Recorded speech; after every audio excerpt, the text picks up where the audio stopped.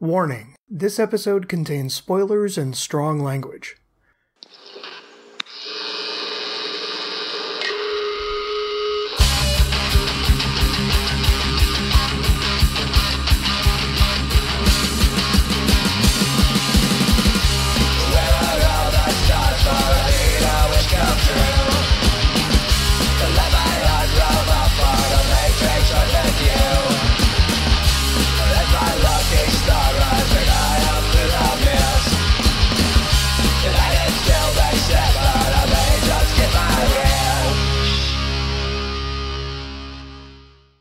Welcome, everybody, to the third episode of Barbroians, a podcast exploring the cinematic oeuvre, library, legacy, I'm not quite sure what to call it, of the Barbarian Brothers. Joining me, as always, is my bro, JD. What up, Noel? What up?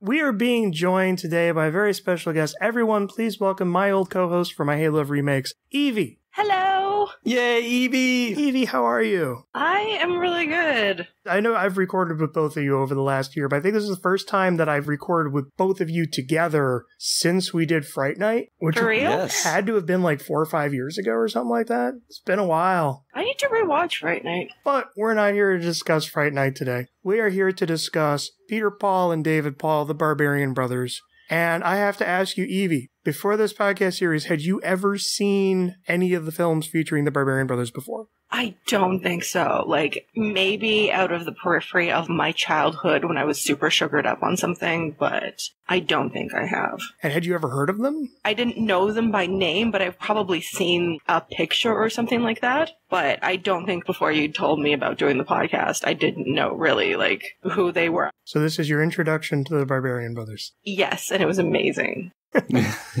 Well, and then that should go ahead and lead us into this is the third of the four films in which the Barbarian Brothers were the lead stars. This is Double Trouble from 1992. So with Double Trouble, I'm not really going to get into the producers because it's mostly the entire group of producers who also did Think Big. So this one like led right out of the last movie. But the writing credits are kind of interesting how it's like story by Kurt Wimmer and Charles Osborne, written by Kurt Wimmer, Charles Osborne, and Jeffrey Kearns, screenplay by Jeffrey Kearns. So it's both written by and has screenplay by. I don't know why.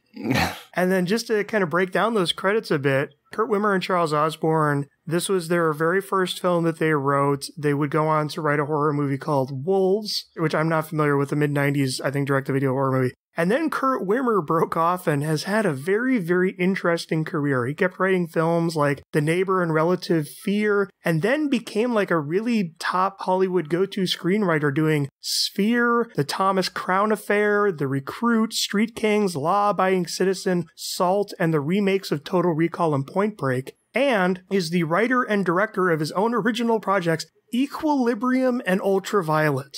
oh, Ultraviolet. Oh, that movie. I remember Equilibrium. See, and I've only seen Ultraviolet too. I keep meaning to see Equilibrium. Equilibrium was okay. I mean, it's not great, but it's a decent enough watch. Gungada. But Ultraviolet was a bad film. Well, it's worth pointing out Ultraviolet was 12 years ago. He has not directed since. Still in movie jail. So again, the writer of all those and the director of those two, this is his feature screenplay debut. Interesting. Just process that for a moment. Yeah, yeah. And then the director of the film is John Paragon. Now, would I be correct in assuming that you guys maybe grew up on Pee Wee's Playhouse back when you were kids? Yes. Not really. I think the first time I've heard about Pee Wee Herman is when he became very infamous. Right. I was a weird kid. Like that's what I was interested in. Was what's horrible happening in the world? Hmm. But no, I, I never watched the show. I knew of the show, but I was just like, it didn't interest me as a kid. Okay. Then JD, since you saw the show, you might know that John Paragon, the director of this, played Jambi the Genie. Ooh. The floating head in a box on Pee Wee's Playhouse. He was also one of the main writers and directors throughout all the various Pee Wee incarnations. He's even involved in the most recent movie that just came out. I don't know if you remember the character of Miss Yvonne from that show too, the woman next door that Pee Wee always had a big crush on. Yeah, I think so. It's been a long time since I've watched any of that. She had like a big beehive and all that stuff. That's right, yeah. Did you notice in this movie there is this one female cop with kind of short blonde hair and always wearing the full police suit? She pops up in a few scenes. Right, with the Girl Scout cookies, yeah. That's Miss Yvonne. Oh, wow. I would not have recognized her at all. John Paragon, he was also one of the main writing collaborators of Elvira.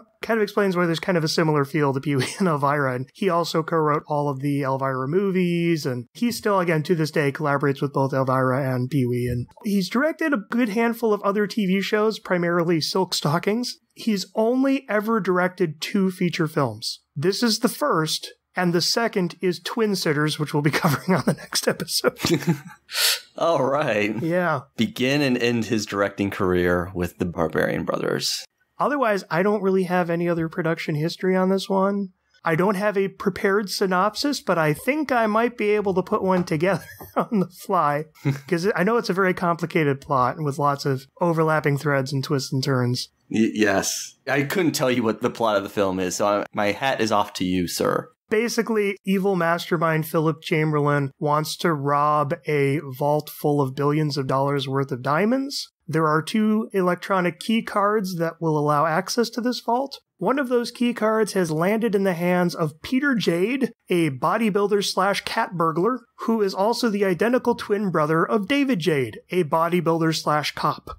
Since bad guys think these two people are actually one person, they start going after both brothers to try to get the key card back. David's cop partner gets killed and set up for a bad drug bust. Everyone keeps attacking them left and right, and the two brothers, the cop and the thief, are forced to team up and work together by their police sergeant Jimmy Doohan and have to go and take the bad guys down. And what ensues is basically a plot that you could have put any stars in and have any director do, and it would have been Bad Boys, it would have been a Renny Harlin film, it would have been anything. But it ended up with the Barbarian Brothers as overseen by Jambi the Genie. So, JD, Yes. do you recommend Double Trouble? Ah, there are things I love about this film. I will say this is probably the weakest of the three barbarian films we've watched so far. I have trouble recommending it because the plot is it's not nonsensical, it's just It's so simplistic it doesn't register. yeah, it doesn't really register. It's a little atonal at times. Like at times wants to be that 90s cop comedy like Beverly Hills Cop, and sometimes it has hints of a really serious cop drama that it should not at all attempt that type of story at all. When it's being fun and light and fluffy, it's fun. When it's trying to be a little serious, which it dips its toes into one, maybe too many times, I just can't take it seriously. I'm gonna give it a slight not recommend, Evie, do you do recommend Double Trouble. Look, listen. This movie is delightful. and I'm not even being like fucking sarcastic. It's probably because I had a really good day at work yesterday and I was just really happy when I got home and I watched it in like perfect frame of mind. It completely worked for me and I loved it. I am aware that this is not like high comedy, but not everything has to be. Peter and David, they have a really good chemistry together. They play off of each other really well and it was really fun and I liked it. And I'm not even sorry. Don't be sorry. And I think I just broke Noel with that because he's just like, what? No, you aren't. Hey, I should point out, we recommended the last two films, both of us. Yeah. nice. Okay, good. Because I was just like, am I going to be the only one who recommends this? I'm not going to be sorry, but like, it's going to be crazy if I am. Seriously, hey, you missed out when you didn't check on my link that I sent you for Think Big. Well, I'm going to have to go watch it now. I'm kind of on the fence on this one. I don't think it's as good as the last two. Because I think what was so nice about the last two was they were so built around the strength of the brothers. And both you and I, JD, we really enjoyed the brothers and their type of energy and their stick and all that stuff. hmm I thought those films really knew how to build on that. This film, you have moments where it lets them be that, but there's so many moments where it's trying to fit them into a different kind of movie. Sometimes it works, sometimes it's really interesting and fun, sometimes it clashes. Yeah. Sometimes it looks about as comfortable as these guys look in tailored suits. it just doesn't quite come together, and yet I still had fun with it. There are still a lot of interesting, quirky bits. I think had they had a project that they could just develop as a pure action comedy, they would have had more fun than taking what feels like it was more of a slick, serious, gritty cop and thief having to pair up action movie and trying to make a comedy out of it. It feels like this started as one thing and then they're trying to make it into another and they're not quite pulling it off. That said, I think once you get past the first half hour, when the two brothers are finally like forced together and it's a lot of scenes of them playing off each other, I think it actually becomes a lot of fun. And even beyond the brothers, there's some really fun shtick that I really enjoyed throughout the film, especially with the villains. Here's how I'll classify the recommend. Evie's reaction aside, this is not what I would use as someone's first Barbarian Brothers movie. Because I think the Barbarians and Think Big are much of a better, like, here's a perfect introduction to here's why the Barbarian Brothers. And this one is a little clashy and all over the place. But if you enjoy the Barbarian Brothers, then yeah, there's enough of that shtick that I think you can enjoy it. I think that's entirely fair. Mhm. So moving into open discussion, Evie, we'll go ahead and just let you lead us off. So what do you think of the brothers and their style of comedy and performance? Like, I'm aware that they're not the best actors, but they're having so much fun, and I'm so into that. I can't really even put it into words because I'm aware that I'm watching people who are not very good actors, but I don't know. They're so earnest and so sweet and just, uh, What were some of your favorite bits? Weird. okay, this is not even really a bit, but the kitty litter in the sink Yes. cracked me up so hard. Especially when he goes to the cat, just use the sink. Think, yeah. I was like sad that we never got to see that cat again. I was like, oh, Yeah. oh, no more cat. But it's one of those things where I'm just like, it's not that the script needed it. It's just I was like, oh, the kitty. He probably gave it to Whitney. Either that or it just like hung out with him later when he came home. So JD, how do you feel about the Barbarian Brothers in this one, kind of as compared to the last few? Well, one of the things that we said in both Barbarians and in Think Big was that the brothers were not really ever differentiated at all. Yeah. Like one might be wearing a tank top or a slightly different costume, but they didn't really have any defining traits. And I do appreciate that they actually took some time. Like Dave is the crop top cop. He's the serious, angry one, and Peter is the cat burglar who dresses up in Cyclops cosplay when we first meet him. And he's the more jokey, less serious one. And I appreciate that he actually took effort to differentiate their characters because I always felt bad. Like they're interchangeable. hmm I mean, one of them got the girl in the last one, but I couldn't tell you which one was which other than that. So at least I appreciate that they actually did put some effort in that. I agree with what Evie said, and that they are just a delight together. They always seem to bring a fun energy. When they're by themselves, the film's not really that good. This film, more than any of the other ones, actually separates them quite a bit. I Mhm. mean, not a whole lot. Well, especially again for mostly that first half hour. For the first act, yeah, they're doing their own thing. And that's the weakest part of it, is when they're not together, the film just kind of suffers. But they're fun. I love these guys, and I'm still glad we get the chance to talk about them in this podcast. Give me one second. I'm registering the trademark for Crop Top Cop. Can we talk about that costume? Because just perfect. Yeah. Like ridiculous, but so perfect. that sweater that's just a little too small. and I love how they call it out. It's like, oh, you're putting on that ratty sweatshirt again. And then, yeah, you have the whole thing where the other brother just loves the tailored suits, and then we have to force the other brother into the tailored suit that one time. Oh god, and he's walking around like he's lurched from Addams Family because he's just so Yeah. uncomfortable. hmm Oh, I love it. I love these guys, but with their physiques, they look like inflated parade floats, you know, when they're in suits. Especially when they then have these guys hold their guns with the two hand stance out front. So much tissue is mushing together there. But to JD's point, this is a film where, hey, I think I finally have down which brother is which. Because, you know, one is slightly taller, slightly leaner in the face. The other is a little shorter, a little smirkier, a little more frequently jokier. And this one finally, by actually naming the characters David and Peter, I kind of now actually have a distinction in my head. And even looking back in the other films, okay, that one was David and that one was Peter. Yeah, yeah, I kind of thought that too. Part of my problem with this film is while we do have a lot of great bits where they still play off each other, even in the scenes that they're together, there's still a lot of it where it's shot reverse shot, cutting a close up of one, cutting a close up of the other. I think what we learned in the last two movies is these are two actors that you just put them both in the same shot. Even around whatever conversation they're having, they'll just have little physical bits of business that they'll bounce off of each other by separating them in their own individual shots, even when they're in scenes together, you don't get that interplay. Yeah, I noticed that too. Like there was a few scenes where because they do that shot reverse shot thing, if I didn't know for the fact that they were twin brothers, like I would almost think, "Oh, this is the trick that they use to like hide the fact it's one actor." hmm It's the parent trap method. Right. Or Patty Duke. oh, how come they never did a parent trap starring the Barbarian brothers? Let's get together. Yeah, yeah, yeah. Oh, I want that. Oh my god, that hurts so much now. Trying to get their parents back together. Oh, I'm upset. While they're in their 30s. Oh, yeah, yeah. And I think they were pushing 40 by the time they made this movie. yeah. Because I remember they were born in the mid 50s.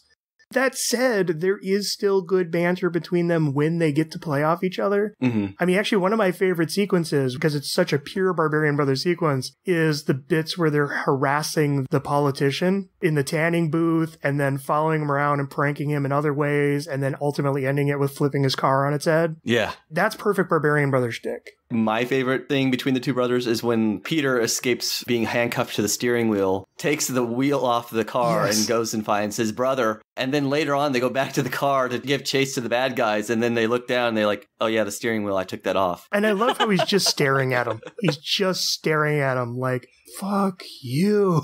Just whistles innocently. The whistling. I love the whistling. Well, I also love when Peter would just kind of do the pouty face. Like, oh, am I hurting your beauty? they do have fun off each other, and I do like that there's a difference in the characterization. David, I kind of like that he's a little more stoic, even if he's not fully pulling off the bits where he's mourning his slain partner. What I always give the brothers credit for is they're trying. They're not flat, they're not wooden. Even when they're not pulling it off, you can see they are putting effort into it. They are expressing, they are acting. Yeah. Mhm.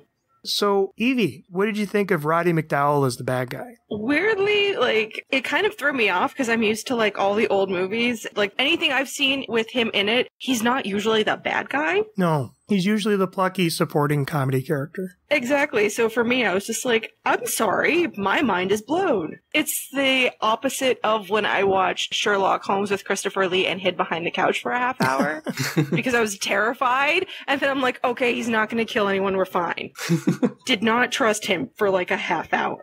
I always love Roddy McDowall and everything. I have to agree, I can't think of too many times I've seen him be a villain. But to be honest, give him a better script than this. I think he would have been like a perfectly good Bond villain. Oh, yeah. He's got a class to him. He takes a little bit of joy in his evilry. He's so chipper. Yeah, exactly. He apologizes. Oh, I'm sorry. I owe you apology when he finds that there actually is two brothers that are identical. And he's like, oh, I guess you didn't steal this. Oh, I owe you apology. Kill them both. Yes. yeah. I kind of wish his plot was a little bit. It's not that it's too complicated. It's just the whole trail that the brothers have to use to get to him. That feels a little bit overcomplicated. And obviously, you don't want to have Roddy McDowall fighting the brothers, but if they could have had like a more direct approach to get to him, where they could have maybe played off like his sense of humor, playing off of their slapstick, I think could have been really good. But he was fantastic. He's probably one of my favorite parts of the film. He's the only one who's, I think, really is bringing his A game to the entire thing. That's what's impressive is that given this type of production, he did not phone it in at all. I think, again, he has a lot of charm, a lot of class, and a lot of genuine menace. And even when he's being funny, there's a lot of genuine menace to just how flippantly he's killing his own people. Right. When he fires, like the first time he does it, and you're just like, oh, he's, fi- oh my God, they killed him. And it just keeps going through this whole chain of people. And then even the whole bit at the end where it's like him and all these people are giving a toast in champagne, and four of them instantly keel over from the poison. And there's a fifth guy who looks at his glass. He's like, Oh, I'm sorry. That's right.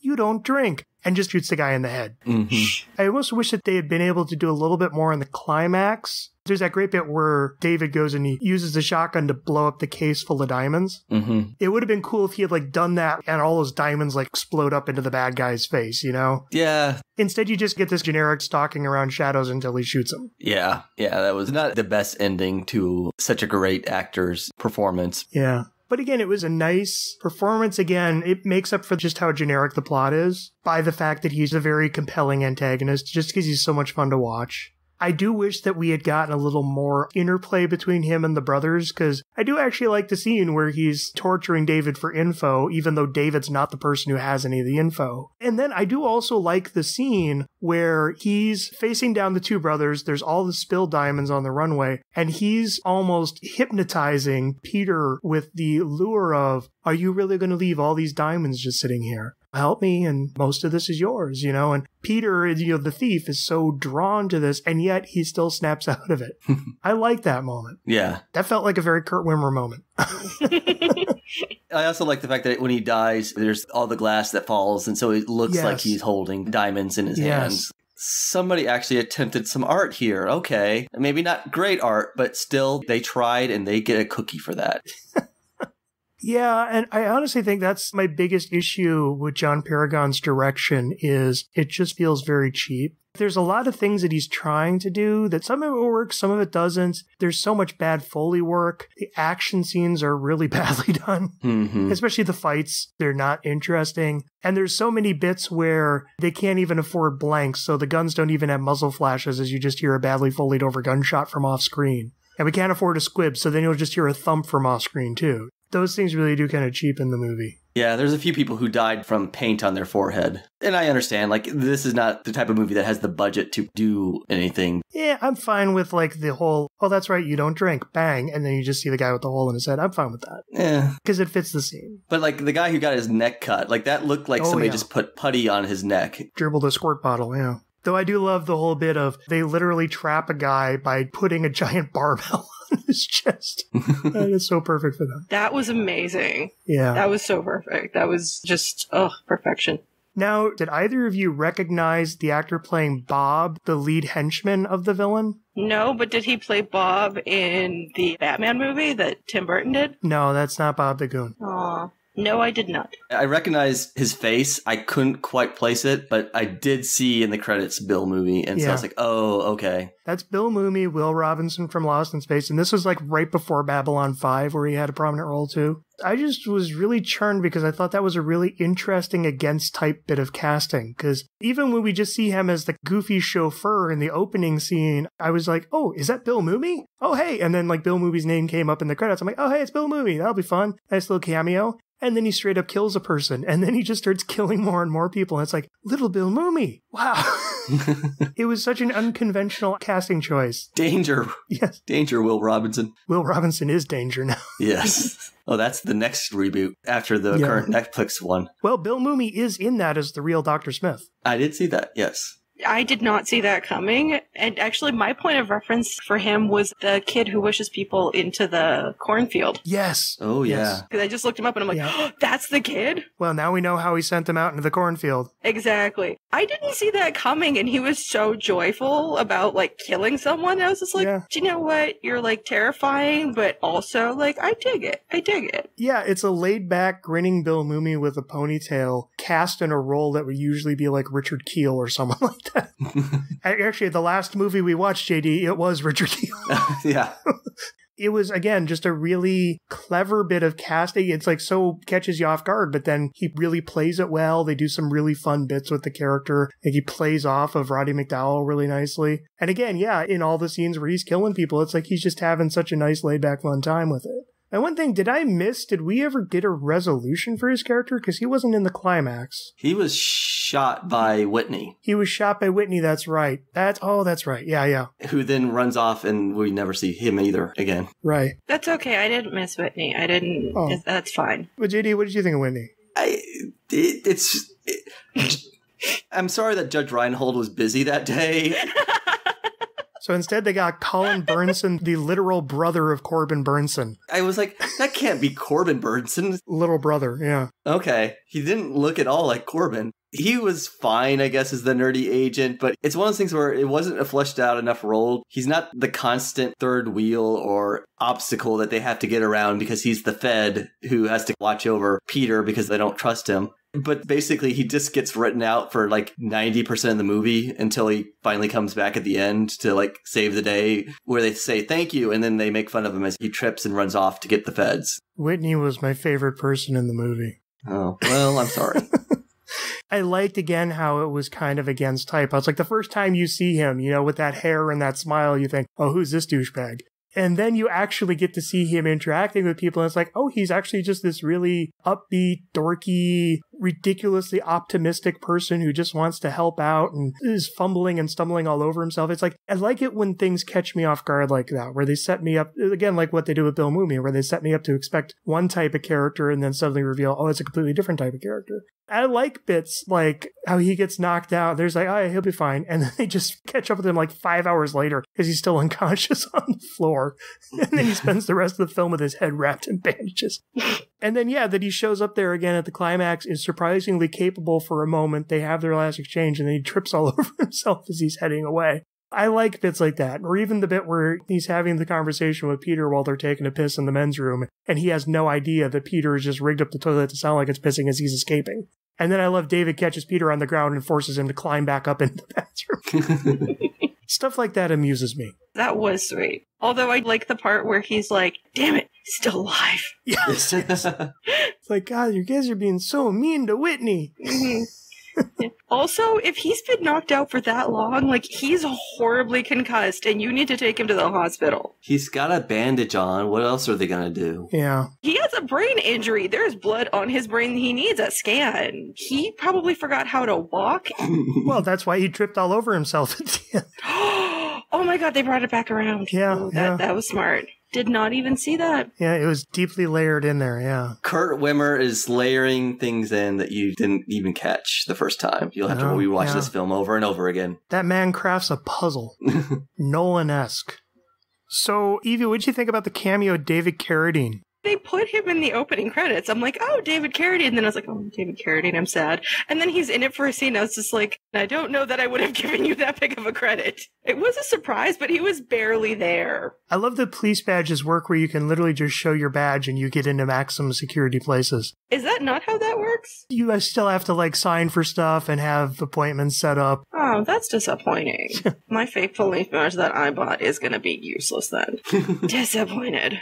The fact that you said the same producers that did Think Big makes sense because I was like, why is David Carradine in two Barbarian Brothers movies? Maybe they just really got along. I guess I was like, maybe they became bros after this, but he really doesn't get anything. He basically just lays exposition down. Yeah. You kind of get the explanation that this was the guy that taught Peter all his criminal ways. But for the most part, he just explains like what the card is for and why everybody wants it, and that's it. And it feels like it's a waste of a good actor because I mean, at least in like Think Big, he actually got to do stuff. Yeah, he actually had a pretty prominent supporting role throughout that. Yeah, this is just him just laying exposition, and he's fine in it. Yeah. But he, this isn't a stretch of his acting skills by any stretch. No, and this is more your typical David Carradine where he's just kind of quiet and whispery and looks half stoned. Which, again, Evie, if you want a nice selling point on Think Big, you get to see David Carradine in an energetic, cartoony, over the top role. Uh, that sounds fake, but okay. Have you ever seen David Carradine play something energetically and cartoony? Yeah, I'm trying to think back and I'm like, nah, nothing. You guys have already sold me on it, so I'm gonna have to watch it. Evie, is there anything else you can think of that you want to bring up? Scotty. Jimmy Doohan. Yeah, what'd you think about him in this? I know he was in the credit sequence, but he was so unexpected. I was just like, oh my god, Scotty! And I freaked out. It was so cute. Apparently, this is the first non Star Trek film that he was in since 1971. Well, at least he was doing quality work. Yeah, yeah. yeah JD, what'd you think about seeing Jimmy Doohan? I always love Scotty. He was one of my favorite Star Trek people when I was a kid, so I'm always happy to see him in anything. He had not done much. And most of the time when he was in films, it was usually as, hey, remember Star Trek? Yeah. I felt so bad that he like basically became like a parody of himself. So I'm glad that he got a chance to actually play a real role. Yeah. That said, he's playing the police captain that's in every single cop movie. Like he gets angry and shouts at the cops and tells them that he has one more day to finish the case or whatever. You know, it's this very stereotypical role. Yeah, I agree with you. It's nice to see him do something that's not just putting a big spotlight on Star Trek. But every single time we see him, he's just sitting in that one chair in his office. So it feels like they only had him for four hours and they just filmed all of his shots. Yeah. And I think that's the problem is that, yeah, he's just a typical angry chief, but not an animated angry chief. I mean, because he's just sitting behind a desk the entire time. He's not like up on his feet, storming around, barking at everyone. And I think when David lost his partner, they had a really good opportunity just to kind of brief little heart to heart between him and the chief. And I think that could have been a nice touch had they gone that way. He does mention like, oh, the entire department grieves or something like that, and then immediately moves on to playing every angry police chief that you've ever seen. And I just realized he's playing Chief O'Brien, who was basically the Scotty of Next Gen and Deep Space Nine. Oh, there you Yeah. go. So I don't know if that's intentional or not, but Take that, Colm Meaney. I kind of like the bits where they're going out for food and Peter's disgusted that David eats like these really sloppy burgers and David is disgusted that Peter likes to dress up and go to fancy restaurants. Yeah, it's typical chick, but they play it well. Who almost gets a bit of the short shift is, of course, the early on killed partner of David, played by AJ Johnson, Yeah. who seemed like she could have been a really interesting character. Because, you know, they kind of do the undercover cop thing where she's dressed up like a prostitute, but instead of making it sexualized, it's more comedy about how she really hates having to wear these freaking platform shoes. Then she actually gets that really touching moment there where she goes to get some info from an informant and then finds him dead on the bench. It's just this little moment there. and I wish they could have built on her character a bit more. But then, of course, then she's dead. So not only are we killing his partner, but we're killing his black woman partner. So it's kind of like fridging upon fridging. Yeah. I did notice the fact that she was the only woman character of note in the entire film. Yeah. All the other women are just Peter's arm candy. Right. Or like the cop who's selling Girl Scout cookies. Yeah. She does well with that scene in the Mhm. station where she's saying, like, I'm just going to go meet with my informant. I'll be fine. I think she actually had some chemistry with David. Yeah. In fact, I actually thought that they might be like romantically involved I- because they show that picture of them together. I never got a romance vibe, but I just got this really close kinship, you know, this buddy vibe from him. Well, and I think we later see like her husband. Yeah, yeah. Because David promises to get the people to kill her, yeah. Right. She did good for like the few minutes that she's on screen. I just wish that either had given her more to do or they had at least another female character who could actually do something, Yeah. anything. I looked her up. AJ Johnson, she seems like a really interesting person. She continues acting to this day, not not anything too huge or prominent, but she keeps acting. And she was one of the fly girls on In Living Color. So she is a professional dancer. She's also become one of the major fitness trainers in Hollywood, helping to sculpt a lot of the bodies of the stars. And so you have someone who not only is she giving these nice little moments of performance, but she's very physically adept. I think it would have been interesting to keep her involved in the plot and let her take part in the action sequences. And have like her basically having to babysit these two brothers who are babysitting each other through this entire plot could have been really interesting and I think could have maybe given a little more energy to the action sequences, which are still terribly choreographed, but I think she could have brought some energy to them. Yeah, and I really didn't understand why she got killed in the first place because they made the informant look like he'd overdosed. Right. And she goes like, "Oh, I thought you were clean," and then gets shot. I think the plot would have been better if you're going to kill her, which I still think was a mistake. Right. If they had saved that for when they are mistaking David for Peter and they're going after David to get the key card back. Right. I think that would have made for a much more interwoven plot that would have been easier to follow. Or like she's the only one who really knows that they're twins because she's the only one who trusts to tell them that. And So she's like the housekeeper in the parent trap. yeah, and she has to be the one who has to explain what's going on to I don't know. Like it just could have done something more Yeah. with her. Anything. Mhm. And again, there's no other romantic interest in the movie. I mean, Peter has the one woman he's sleeping with in the beginning, but again, there's no other woman character in the movie other than bit parts. I think David was really in love with his weight set because Ooh. the grunts that he was making when he was lifting weights. Ooh, man. And the woman on the other side of the wall. I needed a cigarette after that. Yeah, I kept expecting her to come back. I was like, Yeah. she's going to be like the love interest for him. Nope. Evie, what did you think of the weightlifting sequence? I thought it was funny. I get what they were going for. It was a little bit silly, but at the same time, I thought it's funny. But again, these guys, they aren't cut. They're like huge. Mhm. Not even like the joking term thick. They are freaking thick. And what I also kind of love is how they cut from David doing his weightlifting and his whole sexual grunting and the woman listening to that, cut to Peter, who's romantically weightlifting his love partner, basically above his head. That was just a funny bit. Mm-hmm. I'm kind of surprised because the barbarians didn't really have much of a romance plot, but I still thought the romance kind of worked in the last movie. So I don't think these guys are incapable of, you know, if you want to give them a love interest to explore. I think this is a film where it's like you can see the threads of what this film used to be, and it just kept evolving into something so completely different that none of the pieces all fit together that much anymore. Right. And then one thing I also want to mention the music. JD, what do you think about the music?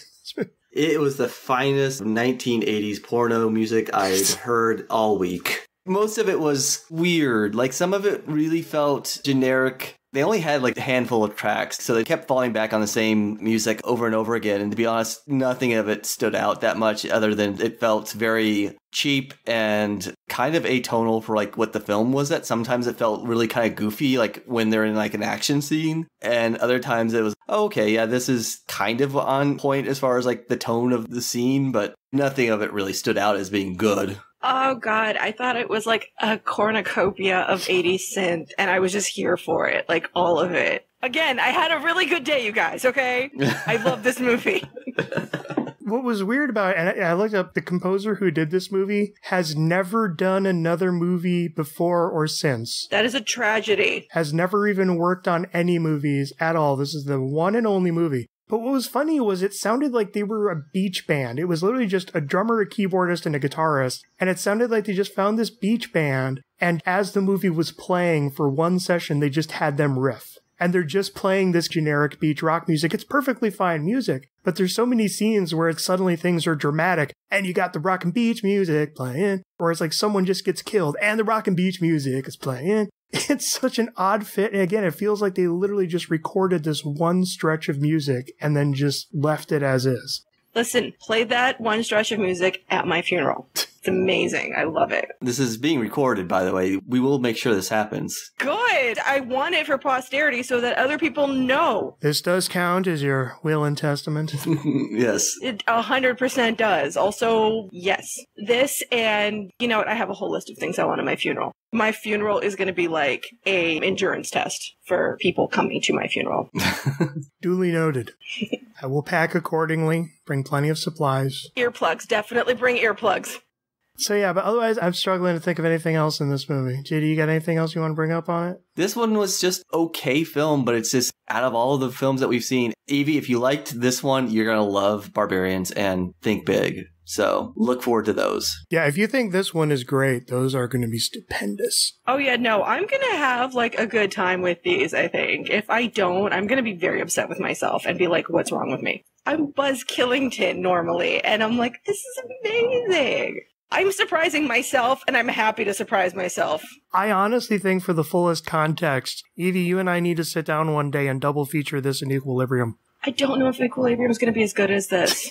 What if Equilibrium had starred the Barbarian Brothers? don't make me want things I can't have, Noel. It's mean. That is mean. What if Ultraviolet had starred the Barbarian Brothers? Okay, well then that would have gone straight to the top of my charts instead of me going, I'm confused and I don't care. Well, now I'm thinking about his other films. What if Thomas Crown Affair had starred the yes. What if Sphere? What if Michael Crichton's Sphere had starred the Barbarian Brothers? Just you keep saying things and it's like yes. But what's funny is it's interesting that we're seeing them try out the Barbarian Brothers in a different type of movie, but it only really works by bringing it back to what makes the Barbarian Brothers work.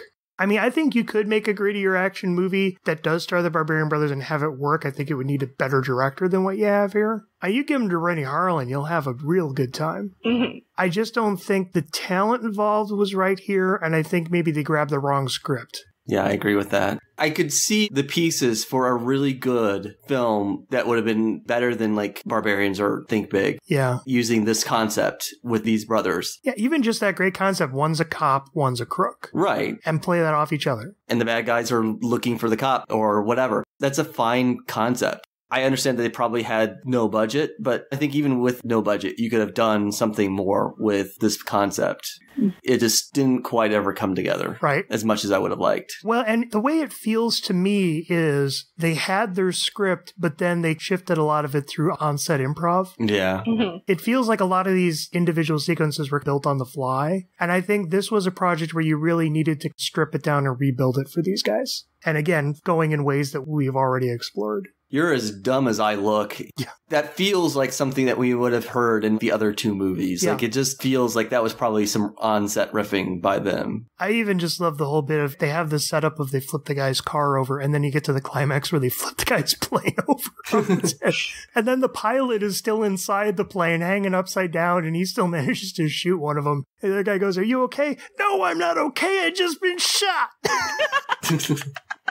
the Barbarian Brothers, if you've never seen their films, if you only see some photos, it's like, I get why you can be very dismissive of them. But they were legitimate performers and they had legitimate charisma and energy and a good shtick and bounced off each other well. They were very dedicated. I don't want to say dedicated to the craft, but they literally are putting work in to their performances. And you can see that and it reflects. And it's again, I think, had there been more time to properly build this around the brothers, I think it would have worked better. But as it is, I'm still regretting that we only have one film left. I know. Do you know what? I kind of wish that this was like a TV series. It would have so worked as a TV series. Yeah, I could see that. Well, and we even talked about that back in our DC Cab episode, which I know Evie you haven't heard, but DC Cab was their film debut where it's them running around with Mr. T. And I'm like, God, if A Team wasn't already on the air, if you had just had Mr. T and the Barbarian Brothers open a detective agency together and just run with it. We could just do that now. Someone start a GoFundMe now. Again, the Barbarian Brothers are two of the most unique talents to have ever become film stars. And it's kind of a shame that the industry never fully appreciated how best they could be used or how to play to their strengths. Exactly. It's disappointing. So that's going to end our episode on Double Trouble. We got one more, one more left. We'll get to next month. But yeah, we're almost done. I think we are still going to do a fifth episode. We're kind of doing like a little odds and ends and overview type thing, but I'm still trying to see what all I can pull together on that one. So we'll see where we're going. But yeah, I'm going to miss the Barbarian Brothers. I already miss them. Yeah, me too. Well, thank you for joining us, Evie. It was a delight. Thank you. I legitimately had no idea what you were going to think about this movie, but I'm glad you enjoyed it. I watched it on like the perfect day to watch it, and so uh, I'm now on Amazon. Oh my god, yes, it is on DVD. Yeah, Double Trouble is available on DVD, and The Barbarians is available on DVD. I think Think Big and Twin Sitters are a little harder to find. Granted, all three of them are on YouTube. So. I would just like to point out that a whole bunch of movies that suck are on DVD and Blu-ray, but I can't get Twin Sitters. I just look at your life, universe. Look at your choices. You know what legitimately shocks me? They only have, even setting aside DC Cab, they've only had four films where they are the stars, and yet there is not a four-film box set collection of the Barbarian Brothers. Right? I would pay money for that. Come on. It can't be that hard to assemble the rights to these movies. They cannot be that expensive. Shout Factory, I am looking at you. Yeah, I was gonna say, write your local Shout Factory. Shout Factory is already the ones who put out the Barbarians in a double feature DVD with The Norseman, a Lee Majors movie that has nothing to do with the Barbarian Brothers. Do a four piece Barbarian Brothers box set, Shout Factory, please, for the good of all. Oh, hello. I like that Shout Factory has a contact us part. Ooh. Ooh. I do like it that they have that on their website. I'm going to email them. So, all listeners to this show, please write Shout Factory. They'll receive at least two emails. I can email them many times. Many times from different aliases. I think we know who's going to be responsible for the Barbarian Brothers DVD pack that's going to eventually come out. It's going to be me. Criterion, this is an important era of cinema that needs to be preserved. They put out a Lena Dunham movie. I think they can do the Barbarian Brothers. Yes. So, like, Criterion does not get to be all high and mighty about this. Hey, if they can put together a Zatoichi box set, they can do a Barbarian Brothers box set. 4K remasters, Right? I want that. film historian commentaries on all of them. I will pay your $400 or whatever it is now. Especially if the film historian is Joe Bob Briggs, because that'll be fun. Anyways, I think that's going to bring our episode to a close. Thank you for joining us, Evie. Thank you for having me. Now I need to go watch all the other movies that they've been in. and then find them on Instagram and Twitter and just be like, yes, life complete. And JD, good night. Good night. BarBROians is a part of Schumacast, which can be found at schumacast.blogspot.com and on Stitcher. That's S-C-H-U-M-A-C-A-S-T dot blogspot.com. The music in this episode is Stars by Jak Locke and is used with permission. To hear more, please visit jaklocke.com. That's J-A-K-L-O-C-K-E dot com. BarBROians and Schumacast are in no way affiliated with the creators and copyright holders of the films discussed. All rights are reserved and no infringement is intended. A lot of like character actor types, at least every one of them made an impact as opposed to here where it's like Jimmy Doohan and Bill Mumy and David Carradine. And then, uh, there's the cop lady. Yeah. And that's about it. Hey, remember the guard in the building who we got to see the butt crack of? Oh, yeah. I forgot Butt Crack Guard. I love that guy. Can we change that on his IMDb listing to butt crack guard? God, yes, I hope so. Butt crack guard is the sidekick of Crop Top Cop. Yeah, yes. And they have to go get information from Booty Short Bouncer. and then also they're competing against Thigh High Private Eye. You need to copyright all of this and make so much money.